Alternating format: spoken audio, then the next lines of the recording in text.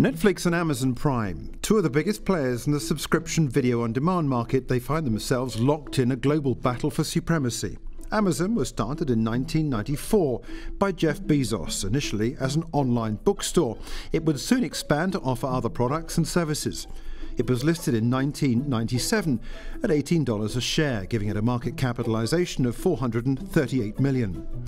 That same year, Netflix was launched by Reed Hastings and Marc Randolph. The DVD by mail rental service would go in to disrupt traditional video rental shops in the US. It listed at $15 a share in 2002 with a market cap of 309 million. The company introduced streaming some 10 years later, with its international expansion starting in 2010. By the end of that year, it had risen more than 2,000% from its IPO levels. Amazon launched its rival service, Prime Instant Video, the following year, and also bought LoveFilm, a European Netflix competitor that offered DVD by mail and streaming services.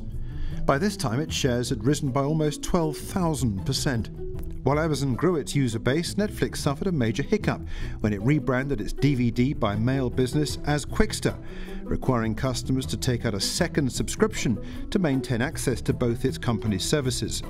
Though it quickly reversed the decision, it ended up by losing 800,000 subscribers as a result of the debacle, with its shares losing more than two thirds of their value.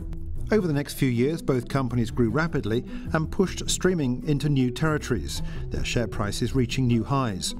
And in 2013, both launched their first original programs available exclusively to each service's subscribers.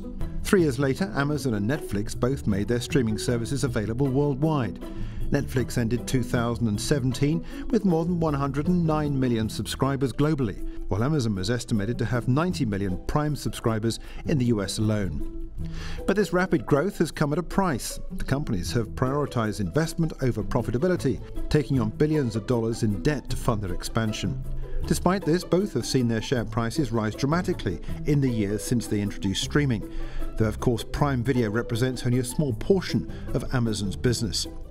But will Netflix and Amazon Prime continue to grow, or could we see new players such as Apple or Google take market share?